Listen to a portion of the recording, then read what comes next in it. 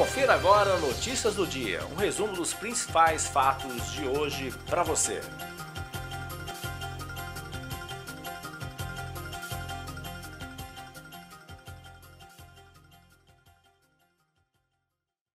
Olá, estamos iniciando mais um Notícias do Dia dessa segunda-feira, com destaques para as informações, especialmente sobre a possibilidade ou não da demissão do ministro da Saúde, Luiz Henrique Mandetta.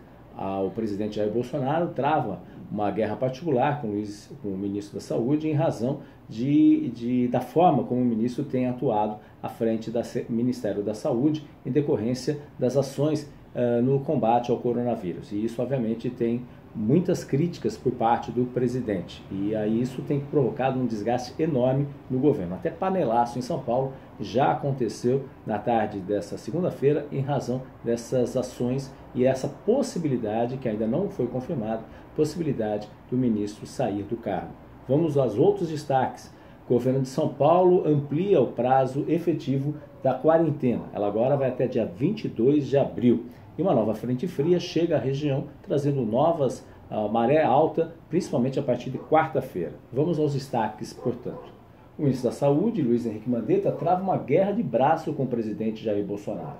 A intenção inicial de Bolsonaro era demitir Mandetta, mas segundo a imprensa que está efetivamente em Brasília, conforme divulgação até o momento, isso daí ele foi demovido por enquanto por parte dos ministros militares, ou, ou seja, pode ser que efetivamente essa demissão não acabe ocorrendo. É o que se espera diante das ações que estão sendo feitas no momento, obviamente, um momento importante do combate ao coronavírus no Brasil. E o governador João Dória decidiu prorrogar por mais 15 dias a quarentena em todos os 645 municípios do estado de São Paulo. A decisão foi tomada após uma reunião com 15 médicos do Centro de Contingência do Coronavírus. Eles apontaram que o contágio já chegou a 100 cidades paulistas e 400 hospitais públicos e privados. Projeções apontam que prolongar o distanciamento social pode evitar mais de 160 mil mortes no estado de São Paulo. No embate que o governo federal tem em relação à liberação ou não das atividades em geral, o professor da USP de Ribeirão Preto, atual diretor do Instituto Butantan, Dimas Covas, explica como o isolamento tem ajudado a diminuir o ritmo dos casos, no caso em São Paulo. Ele defende que o ideal é que o isolamento efetivo atinja 70% de toda a população. Confira a entrevista concedida logo na hora do almoço desta segunda-feira. Para tentar explicar por que, que essas medidas de afastamento são importantes no contexto da infecção. Então, aqui nós temos as várias medidas que foram é, tomadas e o impacto dessas medidas né, em termos de taxa de infecção, taxa de contágio, né, que está lá no, no eixo Y. Então está lá, distanciamento social produz 25% de redução de taxa de contágio, alto isolamento um pouco menos de 50%, fechamento de escola em torno de 25%, 30%, né? eventos públicos também, e aí nós chegamos lá na reunião de todas elas, que vão dar o que nós chamamos de redução mais intensa é, ou seja, um afastamento social mais é, efetivo. E aí, o efeito na taxa de transmissão é superior a 75%. Lembrar que se ela se aproximar, quanto mais ela se aproxima de 100%, mais nós estaremos controlando a epidemia. Quer dizer, como é que nós é, avaliamos se as, se as medidas estão sendo efetivas ou não? Então, tem vários é, movimentos nesse sentido o que tem se demonstrado mais efetivo é a mobilidade dos celulares, e nós temos os números aqui no estado de São Paulo, que começaram muito bem, em torno de 69, depois caiu para 60, e hoje está em 56% de redução, ou seja, houve um arrefecimento do impulso inicial. Lembrar que para essas medidas serem efetivas, nós temos que ter acima de 70% de redução na mobilidade que é o que está acontecendo na Itália há mais de três semanas. E aqui ainda nós não chegamos lá. Então, a importância das pessoas entenderem que nós precisamos chegar nesse nível né, de redução do afastamento social, acima de 70%. E é a única medida que nós temos no momento que é eficaz, eficiente para determinar a redução da taxa de infecção, da taxa de contaminação. E Dimas Covas também apresentou números sobre cenários caso efetivamente tenha distanciamento ou não social e o número de mortes que poderão ser evitadas. Se nós não tivéssemos tomado nenhuma medida, no dia 13 de 4, nós estaríamos próximo de 5 mil óbitos. 5 mil óbitos. Tomamos as medidas esperamos chegar lá com menos de 1.300 óbitos. Tá? Então, com isso, vocês podem ter uma dimensão do que nos espera. Teremos óbitos, sim, esse número será crescente? Mas nós podemos tá, olhar os cenários tá? e fazer uma projeção. Próximo. Essa é uma curva que eu já apresentei, é um gráfico que eu já apresentei anteriormente, ela é importante, porque ela dá uma projeção para os 180 dias de duração da epidemia. Quer dizer, 180 dias, ou seja, começou lá atrás, vai 180 dias, né, já esperamos que lá no final ela já tenha terminado. A projeção é essa. Se não houvesse nenhum tipo de medida, nós teríamos 277 mil mortos no estado de São Paulo.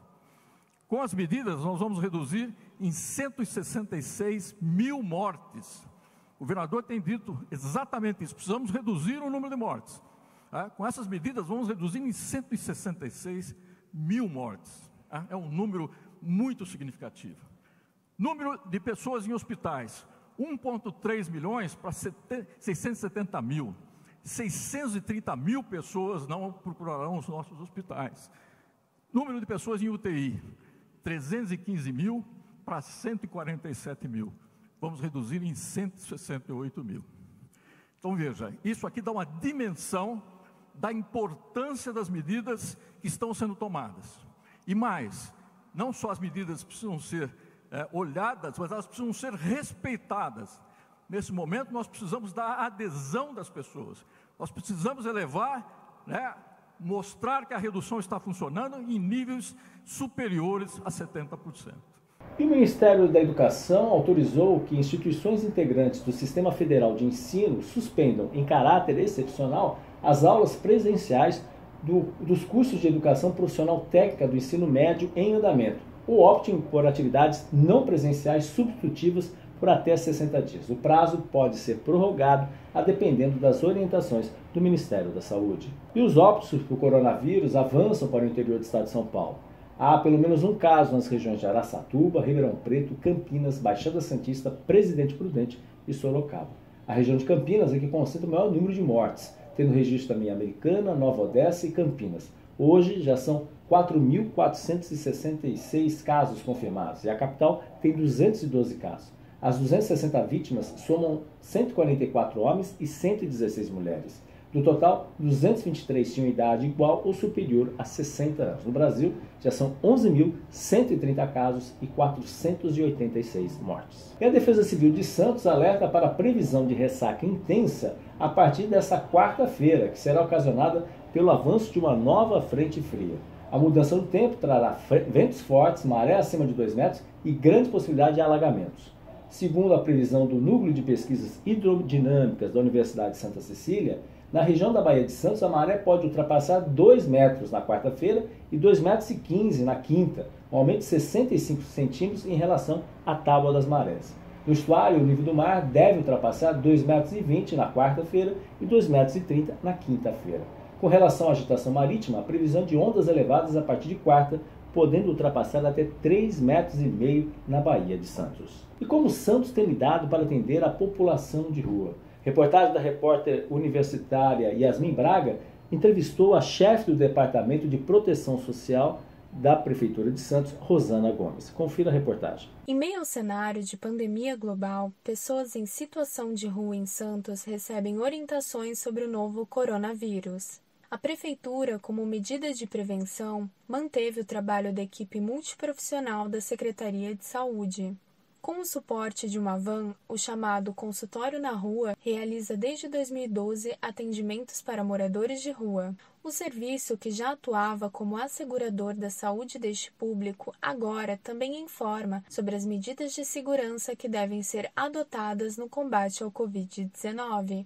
É o que explica a chefe do Departamento de Proteção Social Especial de Santos, Rosana Gomes.